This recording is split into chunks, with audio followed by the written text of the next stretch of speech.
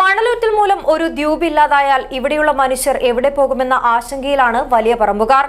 മാവില കടപ്പുറം ഒരിയറ മേഖലയിൽ കായലിലെ അനധികൃത മണലൂറ്റ് മൂലം ഇടിഞ്ഞു തീരുന്ന പ്രദേശങ്ങൾ സബ് കളക്ടർ സൂഫിയാൻ അഹമ്മദ് സന്ദർശിച്ചു.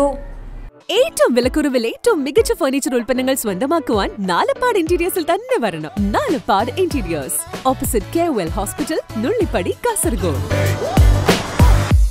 Valiyaparamba ഗ്രാമപഞ്ചായത്തിന്റെ തീരപ്രദേശങ്ങൾ കരയിടിച്ചിലിനെ തുടർന്നും കടലാക്രമണത്തെ തുടർന്നും ഇല്ലാതാകുന്ന സ്ഥിതിയിലായതോടെയാണ് പരാതിയുമായി വലിയ പറമ്പിലെ ജനപ്രതിനിധികൾ ജില്ലാ കളക്ടർ കെ ഇമ്പശേഖറിനെ സമീപിച്ചത്.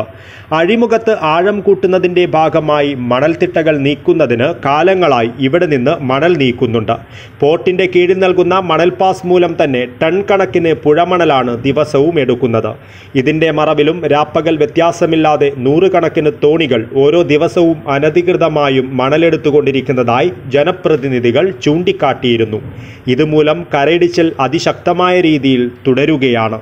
ലക്ഷക്കണക്കിന് രൂപ ചിലവിൽ നിരവധി ഘട്ടങ്ങളിലായി നിർമ്മിച്ചിട്ടുള്ള പുഴ ഭിത്തികളും സമീപ റോഡുകളും കരയിടിച്ചിലിനൊപ്പം തകർന്നു പോകുന്നുമുണ്ട് നിരവധി തെങ്ങുകൾ നശിച്ചു. സുലഭമായി ലഭിച്ചുകൊണ്ടിരുന്ന ശുദ്ധമായ കുടിവെള്ളത്തിലേക്ക് ഉപ്പുവെള്ളം കയറി കുടിക്കുവാൻ പറ്റാത്ത സ്ഥിതിയിലാണ് ഇപ്പോൾ ദ്വീപ് നിവാസികൾ. ഇത്തരം കാര്യങ്ങൾ ചൂണ്ടിക്കാട്ടിയാണ് വലിയപറമ്പ് പഞ്ചായത്ത് ഭരണസമിതി തിങ്കളാഴ്ച കലക്ടറെ കണ്ടത്. തുടർന്ന് സബ് കലക്ടർ സൂഫിയാൻ അഹമ്മദിനെ ജില്ലാ കലക്ടർ പ്രദേശത്തേക്ക് അയക്കുകയായിരുന്നു. സാഹചര്യം വിലയിരുത്തിയ സബ് കലക്ടർ കലക്ടർക്ക് ഉടൻ റിപ്പോർട്ട് കൈമാറുമെന്ന് ഭരണസമിതിയെ അറിയിച്ചു.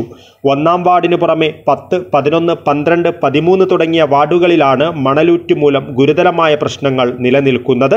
കഴിഞ്ഞ ദിവസം മാത്രം ഏതാനും മീറ്റർ നീളത്തിൽ കര കടലെടുക്കുകയും തെങ്ങുകളും കാറ്റാടിമരങ്ങളും കടപുഴകുകയും ചെയ്തു.